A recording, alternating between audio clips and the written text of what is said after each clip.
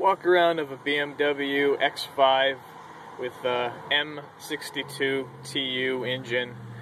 Um, just want to first go over microfilter replacement. Microfilters up in the cowl. Just have to turn these tabs. Uh, usually is one in the center. It's missing on this one.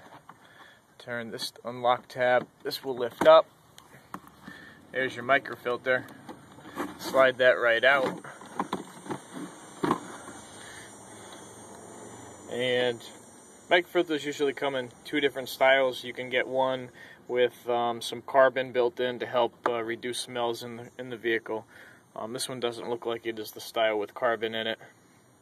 But this is going to prevent dust from getting in there. And uh, you can also use this port to spray some fridge fresh um, to help keep the system smelling good or if you're going to do a disinfect procedure. Um, I do talk about that in a different video. So installation would just be to slide that right back in and relock it. Let's put that aside for now. On the right side, up under the cover here, which you have to take this panel off. This whole panel comes off just by twisting these clips and lifting it up.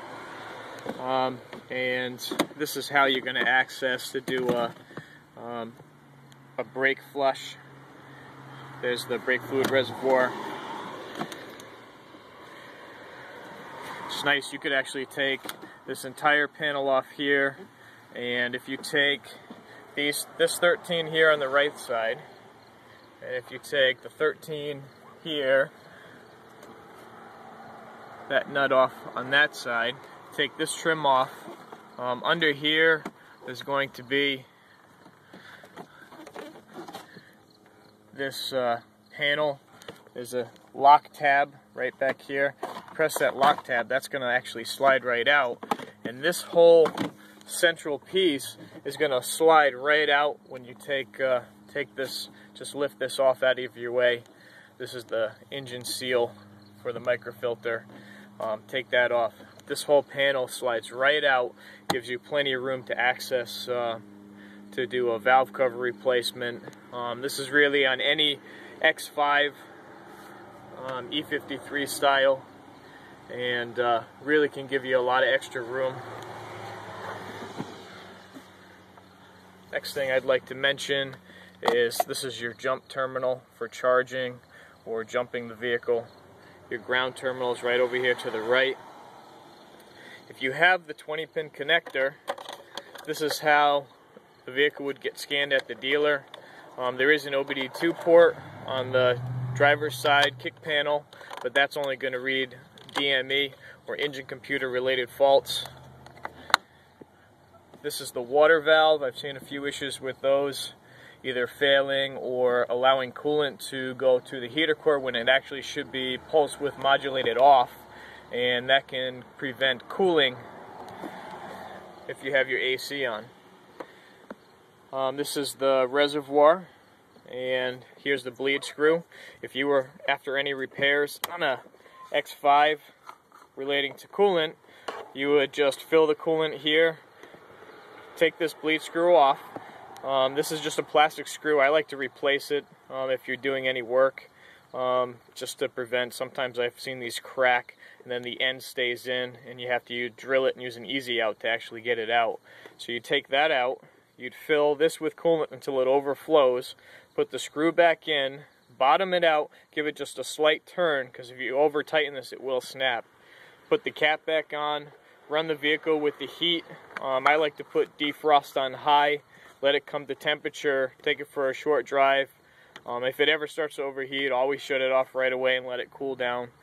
Um, and then after it cools down, um, after you've bled the system and did a drive, park it, um, open this cap back up when it's cool, and do a final top off until the float comes up and you'll be good to go. That would be after water pump replacement, radiator, replacing this expansion tank itself.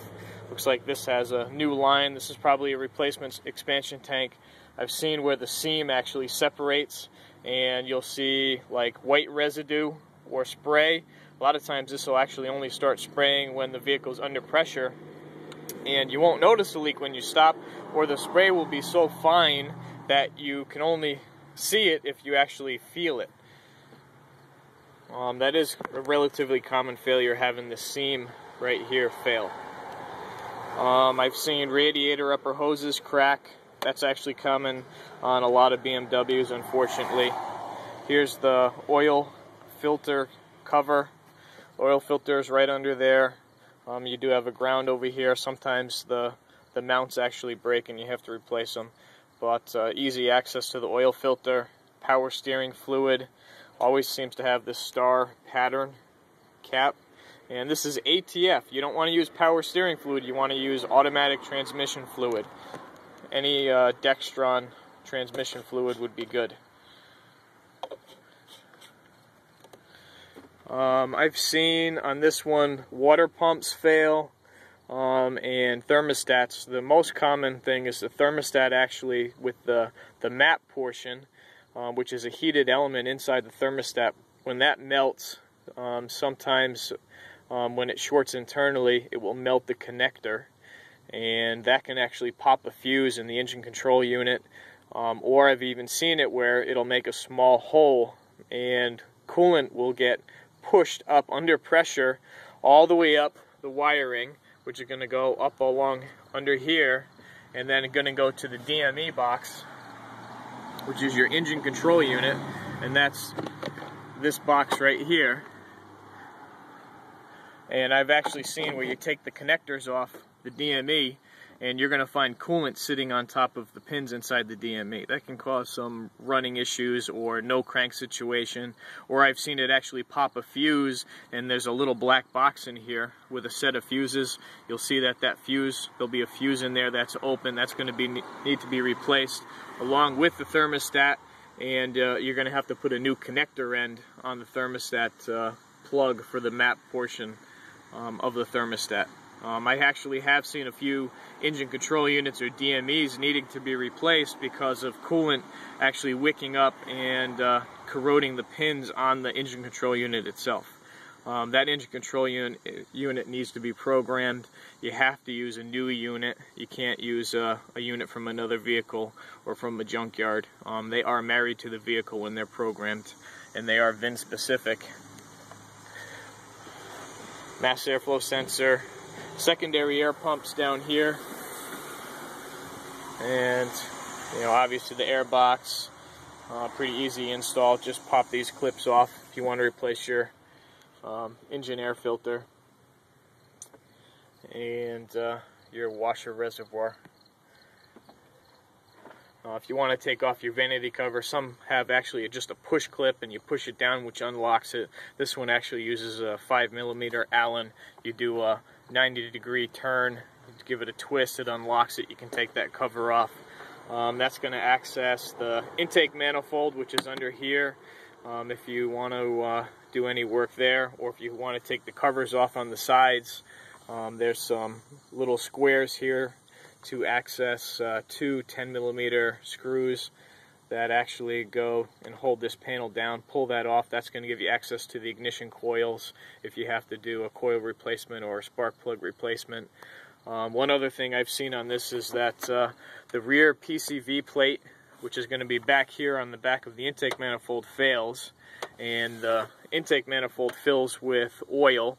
And you're going to end up burning oil, using oil, more oil than uh, you're used to, and you might see uh, smoke from the exhaust on a on a first start.